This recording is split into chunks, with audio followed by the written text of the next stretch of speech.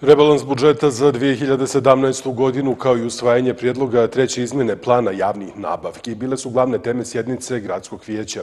Vijećnici su usvojili rebalans budžeta koji je uvećan za 154 miliona dinara zbog prihoda koji su stigli iz vlade Republike Srbije i Ministarstva za rad, zapošljavanje, socijalna i boračka pitanja. Najveći dio ovog prihoda bit će potrošen u unapređenje komunalne infrastrukture.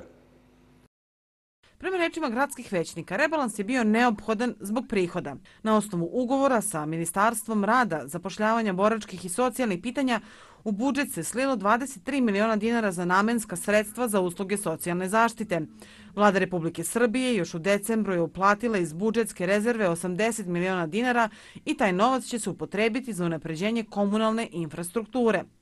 Obećanje novog predsjednika Srbije Aleksandra Vučića na otvaranju gradskog stadiona da će se nastaviti sa ulaganjem u ovaj sportski objekat ispunjeno je i 50 miliona dinara je uplaćeno, dok će ostatak od 30 miliona biti uplaćen do kraja godine. Osim rebalansa budžeta, na današnjoj sednici gradskog veća usvojena je izmena plana javnih nabavki koja obuhvata radove na izgradnji ograde na atletskom stadionu i radove na izgradnji elektroenergetske linije ulične rasvete u Biserovačkoj ulici i u delu ulice Lukare Jukovače.